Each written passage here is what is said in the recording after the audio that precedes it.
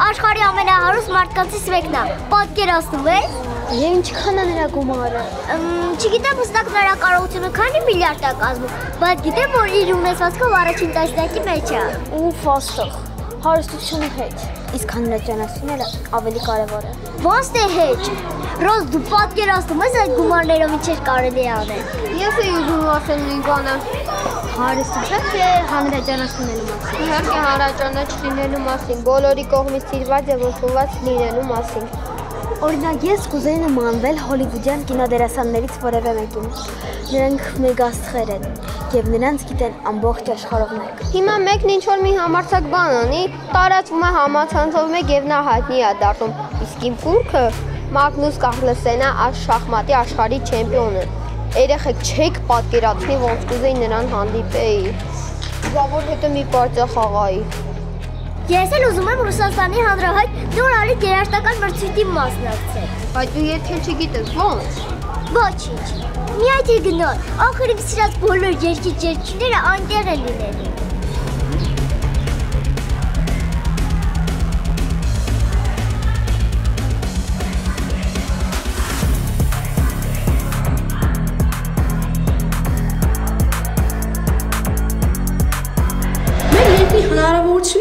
փոքր են։ Եթե ուզում ես իսկական հաջողության հասնել, պետք է հեռանաս այստեղից։ Ես կտրուկ համաձայն չեմ։ Ինչու՞։ Ինչ ես խոսում։ Լավ վոլիստին ամեն տեղից էլ կարողանում ես գտնել։ Կարևորը լավ մարզիկ լինես ու համապատասխանես նրանց ակումբի պահանջներին։ Հավատա, մասնագետները քեզ կնկատեն։ Արտերկում դա շատ ավելի հեշտ ու արագ կլինի։ Մենք մեզ ֆուտբոլի մի մասն ենք կազմում։ Հասկացի, այս երկրից այդտեղ շատ մասնագետներ են ժամանում։ Պատկերացնում ես մի օր մոտիկից տեսնեմ Ռոնալդոին, Մեսսիին, Նեյմարին, Մոդրիչին։ Երազանքները մենք մեկ իրականություն են դառնում։ Եթե տենց բան լիներ իմ հետ, ես կլինեի աշխարհի ամենաերջանիկ մարդը։ Մարզիչ ասում է դու մենակ ծույլ ես, իսկ ընդհանուր կողային ցուցադրած արդյունքներից։ Ծնությունը մեծ խնդիր է։ Սպորտում անդիները առանց աշխատասիրություն։ Չգիտեմ, դեռ ամեն ինչ լավ է, բայց papan-ն էլ է ասում, որ երևի տեղափոխվենք Եվրոպա, որ ինձ տանի եվրոպական ակումբ։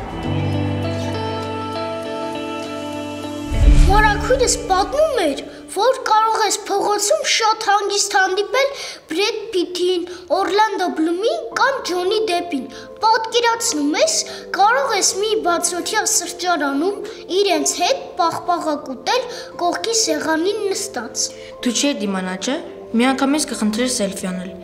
Ինձ թվում է չեն մերժի, եթե ասեիր, որ իրենց մեծ երկրբան ունես, աշխարհի ամենահայտնի ու սիրված մեծ արտիստներ, ու միշտ իրազել ես նրանց տեսնել, բայց դա անհնար է, ուրեմն քեզ մի տանջիր։ Չես հավատում, չէ՞, բայց հիշիր, ես իմ խաղով անպայման մի օր այնտեղ կհասնեմ, այ կտեսնես։ Ուզում ես հայտնի ու մեծ մարզիկ դառնաս, որ նրանց հետ էշ լինի ծանոթանալը, դե փորձիր, տեսնենք։ Ես պատկերացնում եմ քեզ ամսագրի շապիկին, հոլիվուդյան աստղերի հետ միասին լուսանկարված։ Իսկ մեր մեծերի մասին ինչ կասեք։ Ինչպես դուք եք ասում մեր աստղերի մասին։ Երեխաներ, ես ամեն օր, գրեթե ամեն օր լսում եմ, թե ինչպես եք դուք մեծարում օտարազգի մեծերին։ Այն մարդկանց, ովքեր մեծ հաջողությունների են հասել տարբեր ոլորտներում, մեծանուն մարդկանց։ Օրինակ մարզիկներին, նորաձևության ոլորտի մարդկանց, տարբեր այլ մշակույթի գործիչներին, բայց մեծ բայց կա։ Նրանք օտար են եւ այլազգի։ Իսկ ինչու չեք հիշում մեր մեծերին։ Ձեր երազանքն է գոնե մեկ անգամ ձեր կուրքերի հետ նկարվել, չէ՞։ Դա շատ լավ է։ Իրականում ես ուրախ եմ, որ դուք արդեն աշակերտական սեղանից ունեք կուրքեր եւ գիտեք, թե ում եք ուզում նմանվել։ Բայց կարծում եմ, որ շատ վատ է, որ դրանց մեջ չկան հայ մեծանուն մարդիկ։ Ինչու՞։ Միթե պակաս կարևոր են նրանց ձեռքբերումները, Այ օրինակ եկեք փորձենք առանց մտածելու փորձենք նշել մի քանի հայ մեծանուն մարդկանց անուններ։ Դե, եկեք սկսենք երեխաներ։ Ասա։ Շարլ Ազնավոր, Ահա, հետո Սերժ Թակյան, շատ լավ է։ Ուրիշ Կոմիտաս, Արամ Խաչատրյան, Վիլյամ Սարոյան։ տեսնում եք։ Հետո Յուրի Վարդանյան, լավ է։ Հովանես Բաղրամյան, Ապրես։ Դուք Վահրամ Փափազյան։ Վիկտոր Համբարձումյան։ Տեսնում եք, հիմա առանց մտածելու դուք արդեն կարողացաք այսքան մեծանուն մարդկանց անուն ասել։ Դե եկեք հիմա ես ձեզ չընդհատեմ եւ փորձենք մի շրջան էլ կազմենք եւ նորից անուններ ասենք։ Դե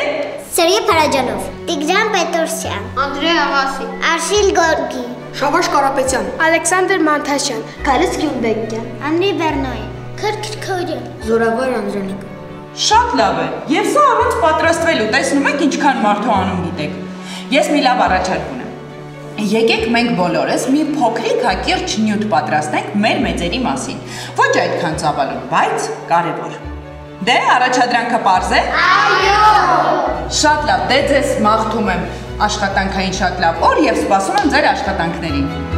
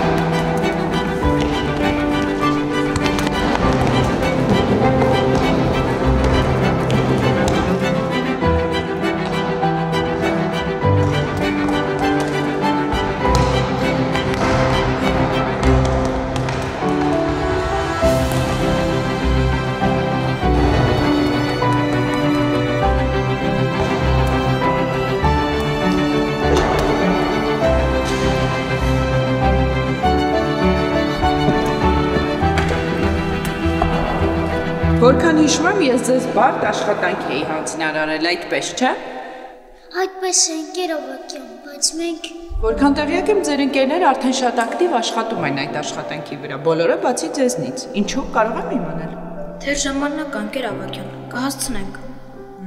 Իսկ դուք արդեն ընտրել եք այն մեծին ում մասին պիտի խոսեք։ Եվ շատ երկար մտածելու կարիք չունեմ։ Հենց հանձնարարությունը տվեցիք, ես միանգամից հասկացա, թե ում մասին եմ պատրաստելու իմ նյութը։ Հավանաբար արդեն դու էլ գիտես, չէ՞։ Այո, ես ինձ պետք չի օգտվել ոչ գրքերից, ոչ համակարգչից, նույնիսկ չեմ դիմելու տանեցիներ օգնությանը, համոզված եղեք։ Հետաքրքիր է։ Եվ վստահ ես, որ կարող ես լավ պատասխանել։ Վստահ եմ, շատ։ Չեմ էլ փորձի ճշտել, թե ում մասին եք որոշել ինձ պատմել, թեպետ հետաքրքրությունս մեծ է։ Լավ, ինչպես դուք եք ասում, դեռ ժամանակ կա։ Տեսնենք ինչ եք դուք պատասխանելու։ Խոստանում եմ ձեր աշխատանքներին ավելի առանձնահատուկ մոտեցում եմ ցուցաբերելու։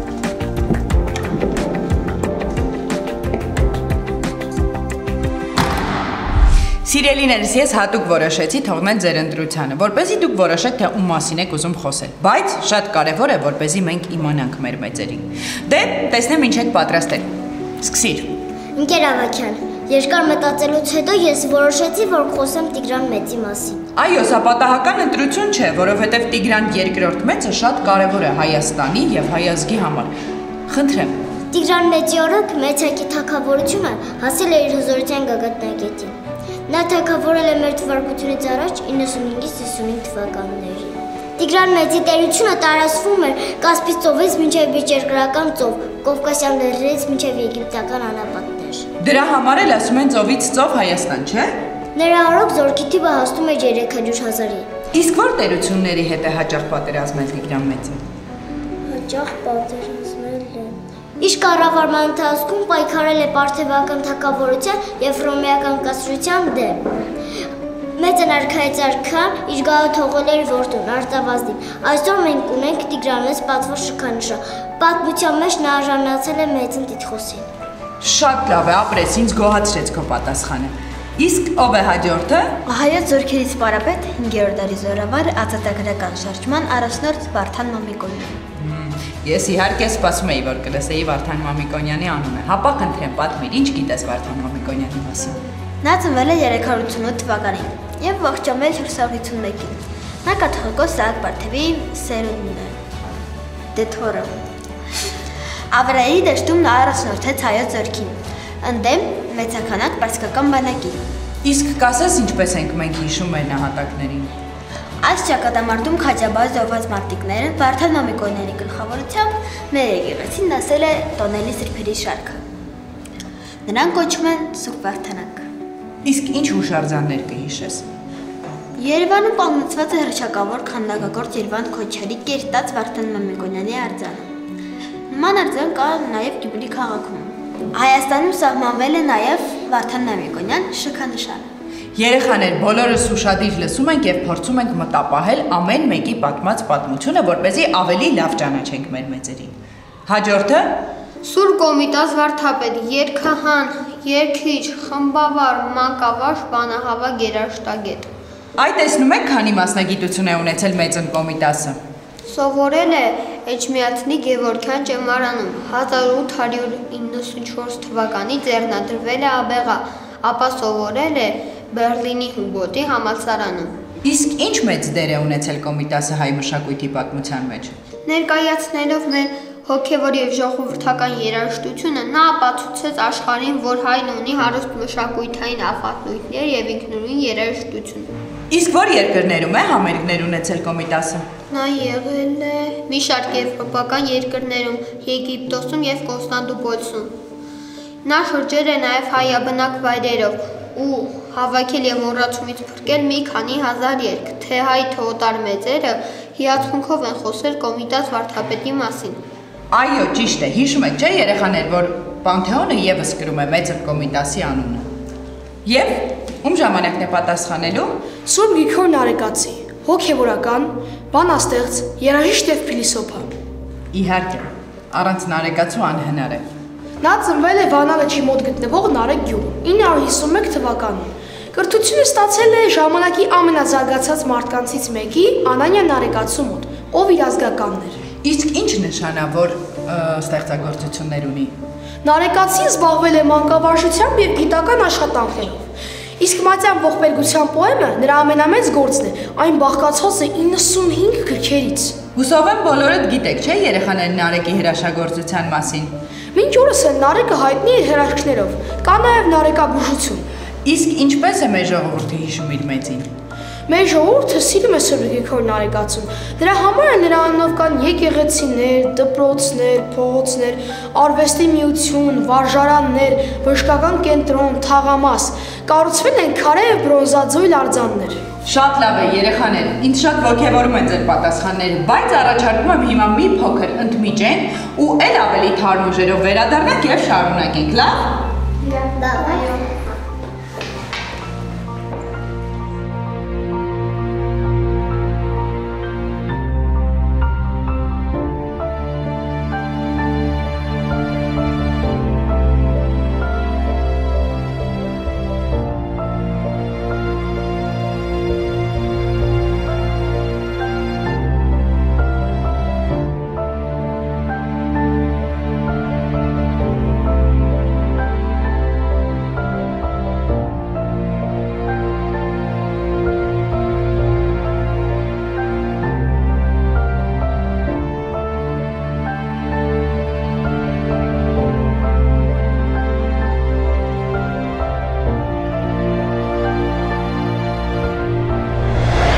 երեխաներ, հանգստացաք, թարմացաք։ Եկեք շարունակենք։ Ինչպես ասում էին հույն դասականները, աշխարհում շատ մեծ բաներ կան, բայց չկա ոչինչ ավելի մեծ, քան մարդը։ Բայց հիմա իմ խոսելու ժամանակը չէ, որովհետև դուք պետք է ներկայացնեք մեր հայ մեծերին։ Ում ժամանակն է հիմա, ով պիտի ներկայացնի եւ որ անհատականության մասին պիտի խոսենք հիմա։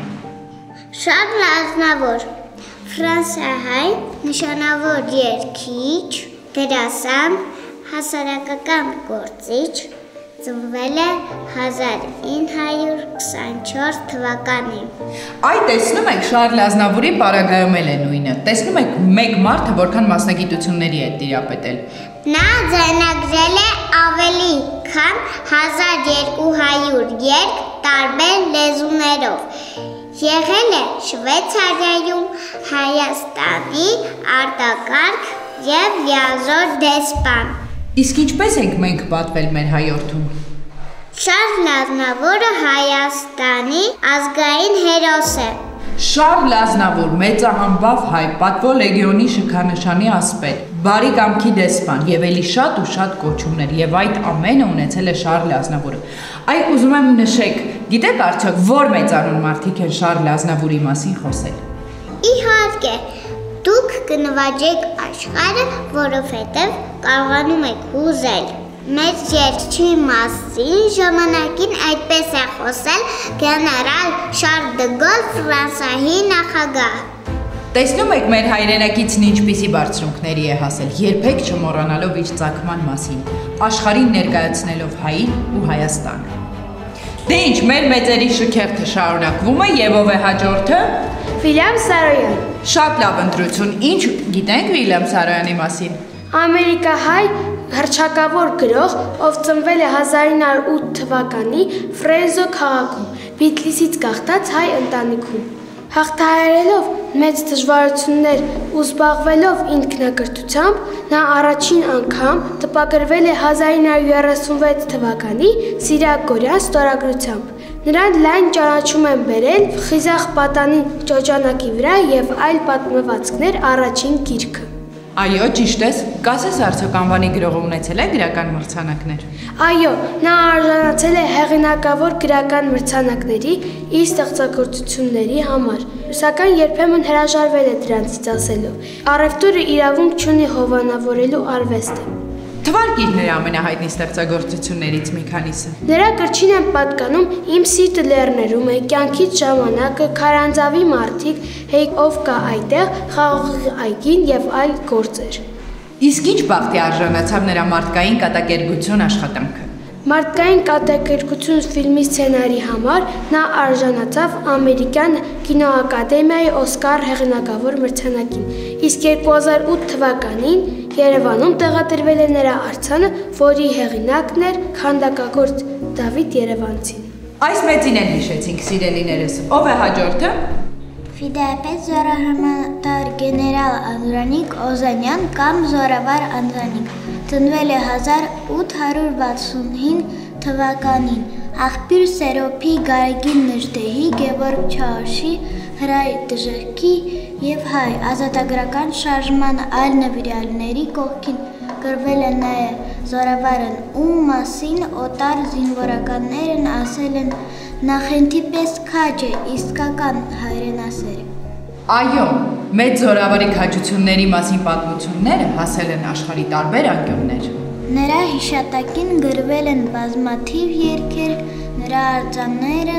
կանոնեցված են աշխարհի տարբեր քաղաքներում, մայրաքաղաքում ունենք նրա անվան մետրոյի կայարան։ Երկար տարիներ Զորավար Անդրանիկի աճյունը Հայաստանում չի եղել։ Կարող ես ասել, որ թվականին է տեղափոխվել Հայաստան։ 2000 թվականին մեծ շուկով Հայաստան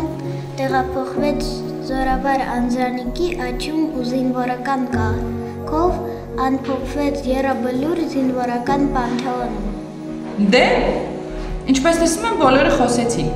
Մնացիր դու ապագա ֆուտբոլիստ եւ քո լրակյաց ընկերը։ Ինչ ես պատրաստել։ Ընկեր Ավակյան, ես այսօր մի քիչ ուրիշ ձև եմ պատրաստվել այս ասին։ Այսինքն,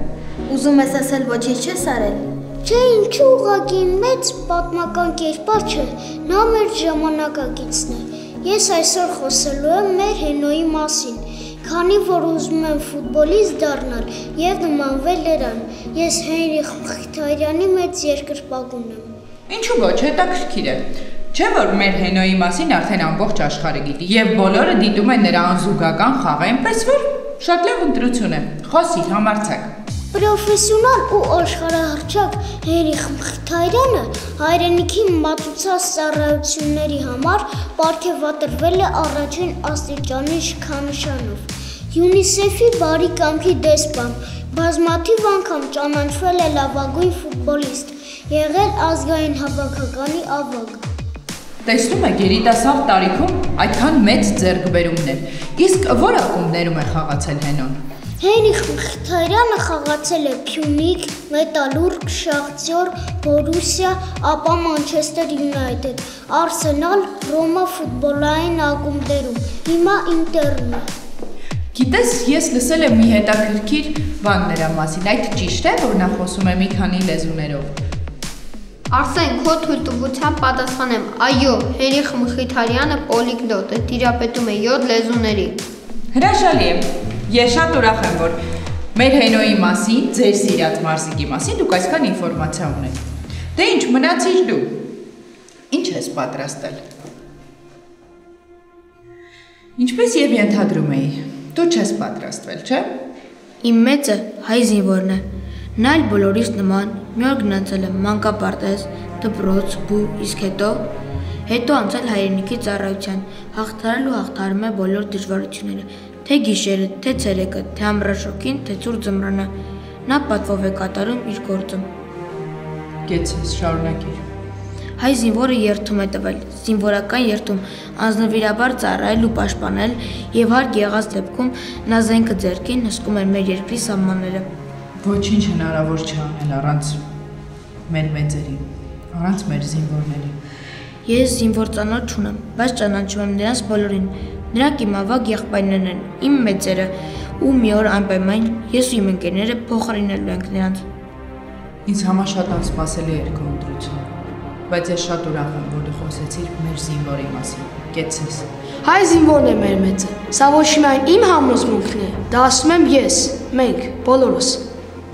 Այդպես կասեր նաև մեծ արարքայից արքան, Տիգրան մեծը, հաստատ կասեր։ Կասեր նաև Շուր Կոմիտաս վարդապետը։ Անպայման գեներալ Զարավար Անզանիկը քաջերի քաջը։ Համամիտ կլիներ նաև մեծ երկիչ Շարլ Լավնավուրը։ Ու վստահ եմ նաև մեր հենուն, Հենրիխ Մխիթարյանը, ինչպես նաև տարբեր մարզիկներ, մեր բոլոր մարզիկները, մեր չեմպիոնները։ Կմիանար բոլորին գրչի մեծ վարպետը Վիլյամ Սարոյանը։ Անշուշտ նաև Սուրբ Վարդանանք, ավալերի հերոսամարտի նահատակներ։ Սպարապետ Վարդան Նանյոգոնյան։ Իր զորավար աղոթներով բոլորին կմիանար նաև Սուրբ Գրիգոր Նարեկացին։ Հայ զինվորի սրանքների շնորհիվ ենք մենք այսօր ապրում, ու մենք, մեծ թե փոքր, հայտնի թե անհայտ կանգնած ենք նրանց կողքին։ Կանգնած ենք միշտ, երեք, այսօր ու անպայման նաև վաղը։ Փառք ու պատիվ նրան։ Աստված պահապան մեր ազգին, մեր մեծին, մեր զինվորին։